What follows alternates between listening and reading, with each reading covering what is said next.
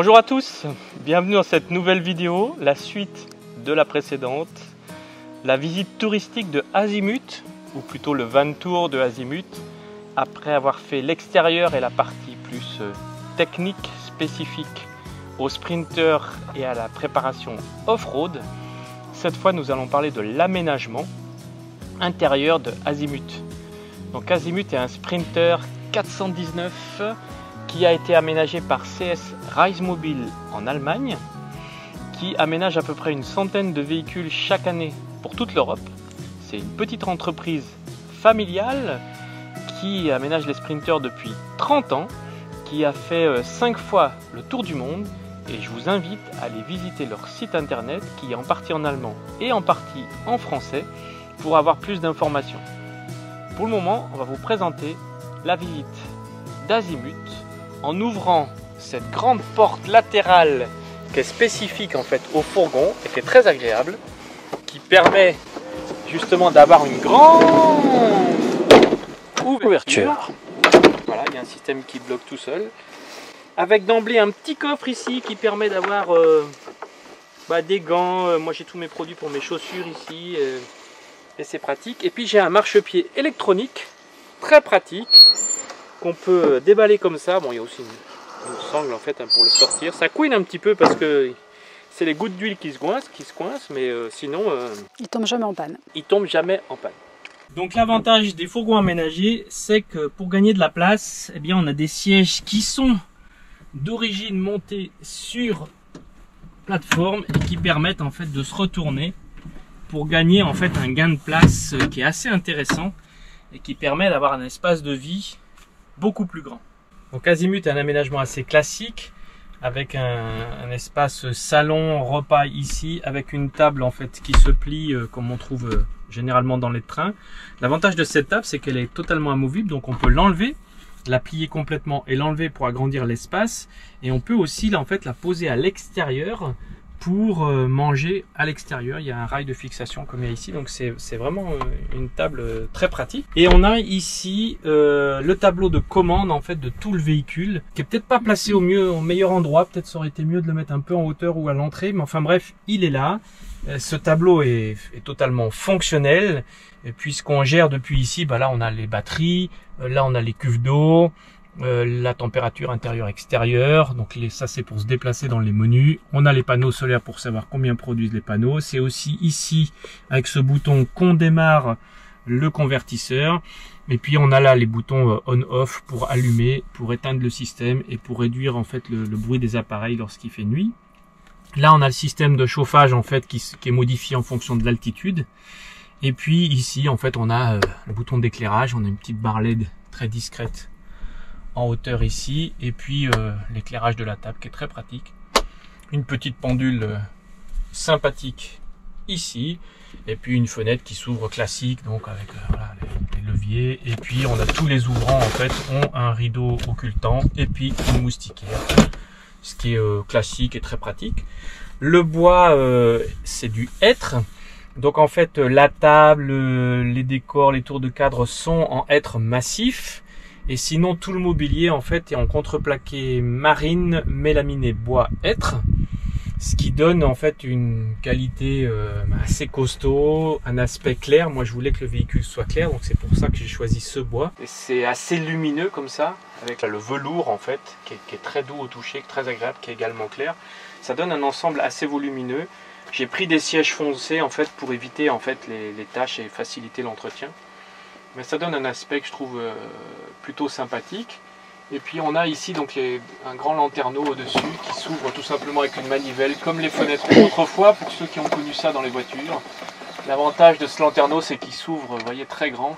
Et, euh, j'ai un deuxième à l'arrière qui permet d'accéder euh, au toit. Et en fait, pour nettoyer les panneaux solaires, eh bien, je sors par celui-ci sur le toit. Donc au niveau des espaces, ben, je disais, voilà, ici, donc l'espace salon. Là, on a l'espace cuisine avec tout ce qu'il faut, le réfrigérateur et tout. Ici, on a la salle de bain et au fond, euh, l'espace couchage. Donc, euh, j'ai choisi en fait un vitrocéram diesel, puisqu'en fait dans Azimut, il n'y a pas de gaz. Donc ça, c'est un vitrocéram gasoil qui s'allume tout simplement avec l'appareil qui est là. Ici, il y a une petite rallonge très pratique à mettre en place, très facile à ouvrir. Et puis, euh, bon, après, ça reste assez classique. Là, on a l'aération du système. Là, on a l'éclairage. On a encore un petit éclairage ici qui est spécifique pour l'espace. on a un grand évier qui permet vraiment de faire la vaisselle, de mettre les assiettes dedans avec eau chaude, eau froide. Un petit, petit espace de rangement. En hauteur, on a des petits placards avec étagères où je range. Là, c'est plutôt ce qui est euh, pharmacie classique. Et ici, en fait, j'ai mon placard avec mes tasses et puis mes petits gobelets à café. Si vous venez, je vous inviterai à boire un café ou autre chose. On a un tiroir pour ranger les couverts, tout simplement, qui se ferme classiquement. Dessous, on a un tiroir où je mets en fait euh, mon bricolage et mes sacs plastiques. Et ici, j'ai un tiroir dans le tiroir qui est plutôt un, tiroir bureautique avec des mouchoirs, des stylos, voilà. Le placard principal de la cuisine est celui-ci où je range en haut bah, toute ma vaisselle en fait. Hein. Et puis en bas euh, mes produits d'entretien, euh, mes boissons en stock, euh, assez classique. À côté de l'interrupteur, j'ai une prise de 130 volts et une prise 12 volts. Sur la prise de 130 volts est branché en permanence en fait mon boîtier internet qui est ici. Donc mon système RUT qui me permet en fait d'être connecté via une puce 4G qui est à l'intérieur avec une antenne qui est ici dans le placard mais que je sors lorsque la réception est mauvaise qui me permet en fait d'être connecté à la, 4G, de travailler et puis de vous envoyer euh, les vidéos. Ici on a toute la commande de chauffage Truma donc c'est assez classique. Et puis on arrive au réfrigérateur. Donc le réfrigérateur c'est un Dometic classique de 90 litres avec un petit fraiseur en haut, très pratique. L'avantage c'est que ce réfrigérateur peut s'ouvrir aussi depuis le lit puisque la porte s'ouvre également dans l'autre sens. Ça a l'air d'être un gadget, mais c'est bien pratique. Ici, j'ai mon placard avec ma réserve de nourriture, euh, ma bouilloire pour faire mon thé. Je suis un gros buveur de thé.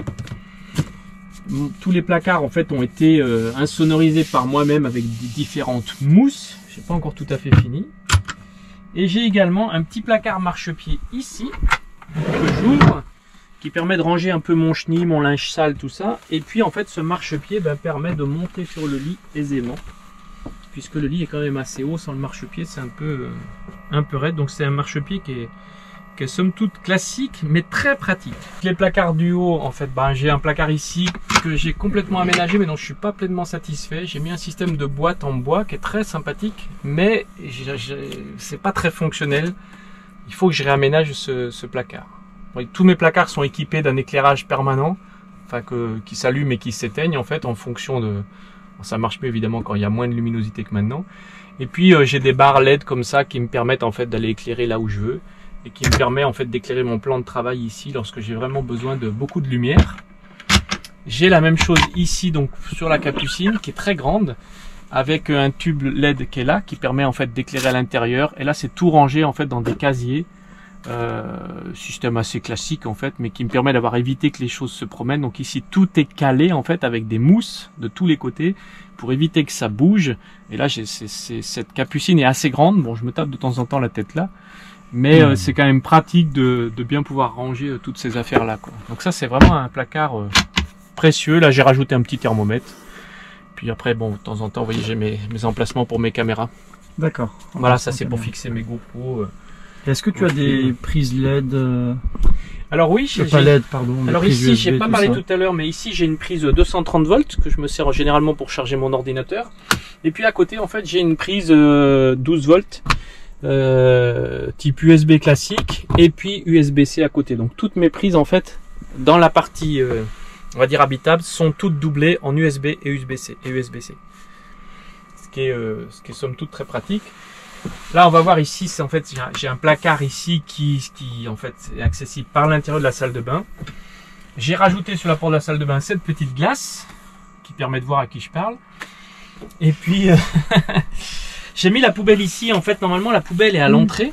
Et puis à l'intérieur de la salle de bain qui me sert aussi un petit peu de placard, eh bien, euh, bon, j'ai des crochets pour mettre mes serviettes, tout ça. Là, j'ai la douche. Ici, j'ai ce fameux placard dont je vous parlais avec une prise de 130 volts à l'intérieur. Un système d'aération et de ventilation motorisé là, il suffit d'ouvrir ça. Ça ouvre le, lanterneau. Donc je peux l'ouvrir comme ça. Et ensuite, j'ai un système ici, on-off, en fait, de ventilation. Soit en inspiration, soit en extraction. En fait, qui permet euh, bah, d'aérer puis de, de, ventiler, en fait. Euh. Ça marche, ça marche plutôt bien. Donc quand il fait très chaud, tu mets ça en route pour euh, aspirer l'air Ouais, ouais, chaud ou si jamais je prends, j'utilise l'eau chaude. Après, bah, ici, j'ai une, une lumière qui permet d'éclairer. J'ai un très grand miroir avec tout mon système en fait de salle de bain ici, une glace pour la petite souris pour qu'elle puisse se maquiller. Donc très pratique et même en gros plan. Petit plan ou gros plan, c'est vraiment vraiment très pratique. Moi j'ai calé tout ça avec des mousses parce que ça faisait un peu de bruit quand je roulais, j'avoue. Et puis là je me, rase en fait de manière pratique. Ici dans le tiroir, eh bien j'ai le lavabo avec bah, l'eau chaude, l'eau froide et puis la douchette qui euh, la douchette en fait qui s'enlève et qui se fixe sur le crochet là-haut pour pouvoir prendre une douche. Donc la, la, salle de bain, je trouvais plutôt plutôt bien. On a on est tout en plastique à l'intérieur donc ça risque rien et puis ensuite on a un rideau pour occulter l'entrée et le côté en fait où il y a les, les boîtes là et qui se bloque en fait le rideau se bloque avec les pressions qui sont ici de manière à quand on est sous la douche à pas avoir euh, le rideau qui vient se coller à soi, ce qui est plutôt pénible. Et puis la salle de bain est surtout très neuve. Et la salle de bain est très neuve, effectivement. Ensuite, on a les toilettes, donc euh, qui sont des toilettes à séparation. Donc ici, on a le, le bac central pour les matières. Ici, le bac pour l'urine. Évidemment, tout se démonte. Et on a un tuyau qui part ici, qui est en fait un système d'aération. En fait, cet interrupteur permet d'allumer en fait un système de ventilation qui va permettre de faire traverser l'air dans les toilettes de manière à assécher les matières et à envoyer les odeurs à l'extérieur. Et à quoi sert la petite trappe que l'on voit sous le lit? Alors ça en fait c'est tout simplement un placard qui passe aussi côté soute. Alors on peut l'aménager comme on veut. La... On a aussi la possibilité de mettre le réfrigérateur ici ou d'avoir une penderie là. Moi j'ai choisi en fait d'avoir le réfrigérateur ici et ici un placard en fait. C'est tout simplement en fait la partie bureautique. C'est-à-dire qu'ici en fait bah, j'ai mes classeurs, mes documents et puis j'ai une imprimante laser et vous avez vu que la lumière s'allume automatiquement. Cette imprimante laser, bah, évidemment, me sert à travailler puisque, euh, comme vous savez, je suis pas en vacances, j'ai aussi une activité, on va plusieurs activités, et donc j'ai une imprimante laser en permanence qui me permet en fait d'imprimer les documents que je dois imprimer, et j'ai tout un tas de documents bureautiques qui vont en fait avec l'équipement bureautique qu'on a vu tout à l'heure sur le tiroir qui est ici, qui me permet. Euh... Dans la chambre, on a un, un lit plutôt sympathique qui fait tout simplement 2 euh, mètres de long avec à la tête 140 cm au niveau des épaules 120 cm au niveau des pieds vous voyez qu'il y a un décalage en fait ici et euh, alors c'est très bien c'est plutôt euh, plutôt des, plus agréables l'espace couchage en fait est entouré de placards là j'ai une petite fenêtre également qui me sert plus de pour regarder l'extérieur mais je peux aussi ouvrir pour aérer un petit peu et puis là, ben, j'ai mes placards en fait où je range euh, mes vêtements. Voilà, donc j'ai des petits placards un petit peu partout. Donc là, c'est plus, euh, plus technique. Et puis, euh, ben, j'ai mes vêtements qui sont rangés là, euh, en fait, dans ces, dans ces placards. Voilà, mes serviettes. voilà. Et j'ai également une partie un peu plus technique à la tête du lit. Euh, puisqu'on voit bon, qu'il y a des, des, petits coffres, des, petits, des, petits, des petites, euh, je sais pas comment ça s'appelle, des petites pochettes pour ranger les affaires. Et puis on a également ici donc une liseuse à chaque fois, voilà, de chaque côté une liseuse qui éclaire plutôt bien la nuit. On a ici prise USB, USB-C. Là il y a l'interrupteur qui permet d'allumer une barre LED qui est au fond. Donc un éclairage à direct dont je me sers très souvent la nuit. L'espace couchage est plutôt sympathique. Donc généralement la nuit j'ouvre ici. Puis hop comme ça ça me fait rentrer de l'air. Je ferme la moustiquière. Je ferme la moustiquière ici. Et là, euh, voilà. en général, je passe les nuits comme ça en saison chaude évidemment. En saison froide, je ferme tout. Euh, Est-ce que tu as un système de chauffage? Ah bah oui, bien sûr. Alors, le système de chauffage, en fait, il est ici. On le verra tout à l'heure euh, dans la soute. En fait, c'est tout simplement un Trouma diesel euh, qui fait chauffe-eau chauffage et euh, que j'allume donc avec le, j'ai dit tout à l'heure avec le, le, bouton qui est là, euh, qui, qui, chauffe très très bien, qui est assez, assez enfin c'est un truc classique en fait, mais j'en suis plutôt plutôt content. Ton ballon de shot, pareil, diesel. Le ballon d'eau chaude, en fait, c'est un, c'est un appareil qui fait les deux, en fait. 10 litres? Ouais. Instantané. J'ai des litres d'eau chaude. En instantané, non, il faut attendre un petit peu que ça chauffe. Mais après, je, je mets le système boost quand j'ai besoin d'eau chaude rapidement. Et puis, euh, Oui, le trou C'est pas un cumul Si, si. Ah si, c'est un cumul, d'accord. Tu as des moustiquaires à chaque fenêtre. Est-ce que tu as une moustiquaire sur la. Ah, débat de la moustiquaire. Oui, alors sur la porte ici, il y a une grande moustiquaire qui est fixée en fait avec une fermeture éclair qui s'ouvre en deux parties. On a une grande partie qui est ici fixée sur une fermeture éclair, donc il suffit de fermer la fermeture éclair. On a la glissière en fait, la moustiquaire qui est placée ici avec les pressions. Une troisième là. Yop. Donc la moustiquaire en fait c'est un système magnétique avec des poids en bas. Voilà. Ensuite, la fermeture éclair est ramenée par là. Yop.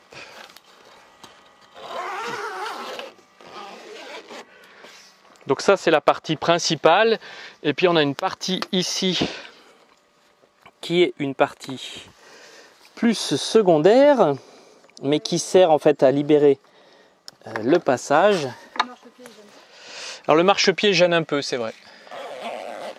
Voilà, et là il y a un système d'aimant en fait qui permet euh, de tenir la moustiquaire fermée. Après, bon, bah, l'idéal effectivement c'est de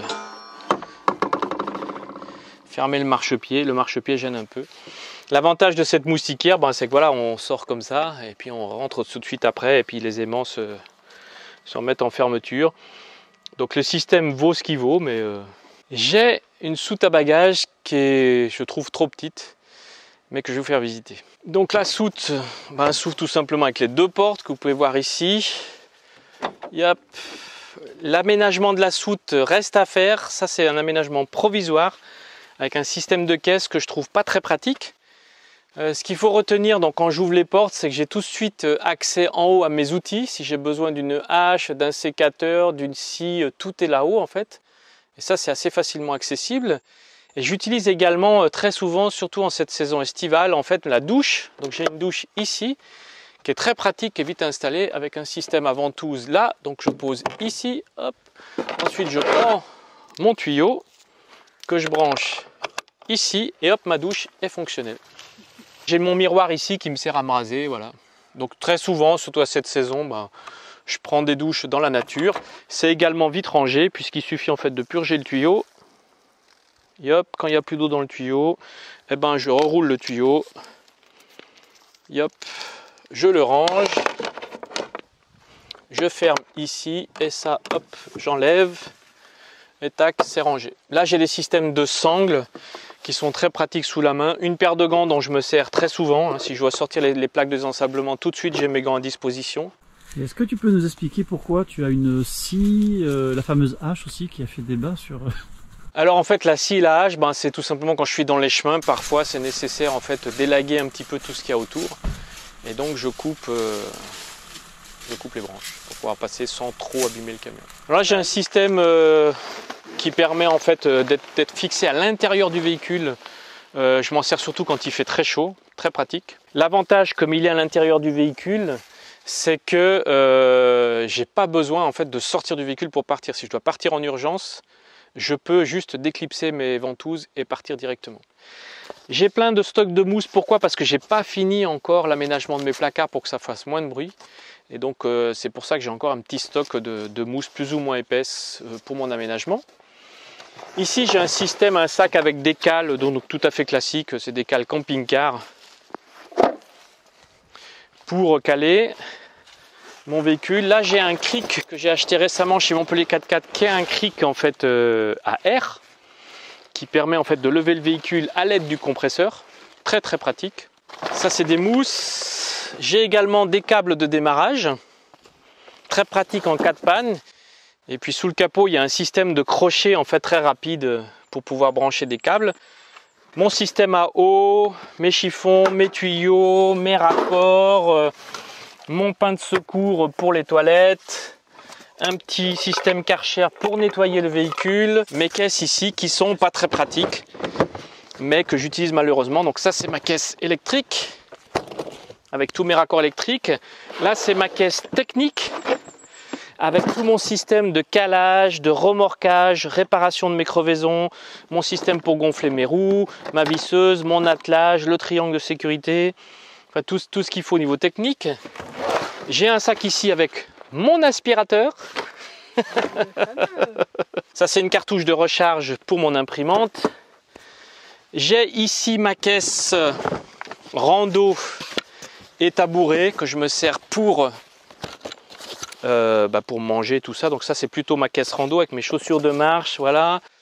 Ici c'est la partie plus outillage, c'est une petite caisse mais qui est très lourde avec mes outils, mon système de bricolage, enfin tout ce dont je peux avoir besoin pour bricoler ou si j'ai une panne. Ici c'est ma visseuse, perceuse visseuse que j'ai en permanence avec moi qui marche sur accu bien sûr.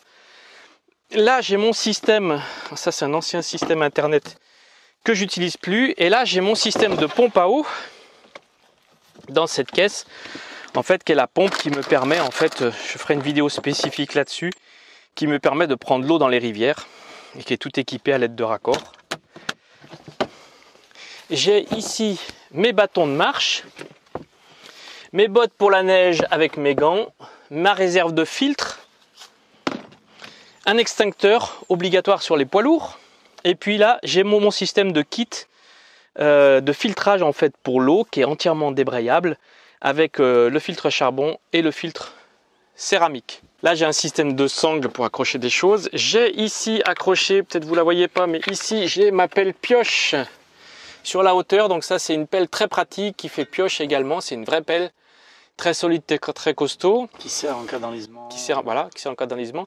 Là, on est au dos du placard où je vous ai montré mon placard bureautique. Là, nous avons le convertisseur 12 volts 230 volts, les batteries lithium 200 ampères, mes robinets pour mes cuves d'eau, et ici sur la gauche, le tableau électrique où toutes les commandes en fait électriques sont installées ici par CS Rise Mobile.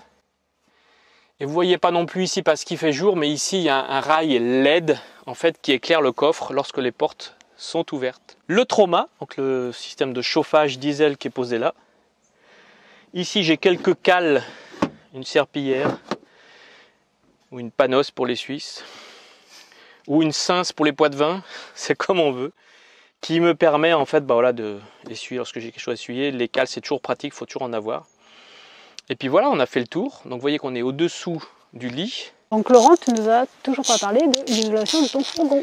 En fait, l'isolation, euh, on voit ça sur le site internet de CS, en fait, ils expliquent l'isolation. C'est un système d'isolation à air, c'est-à-dire qu'en fait, dans la cloison, il y a de l'air qui circule en fait tout autour du camion, avec des cloisons qui sont percées au-dessous.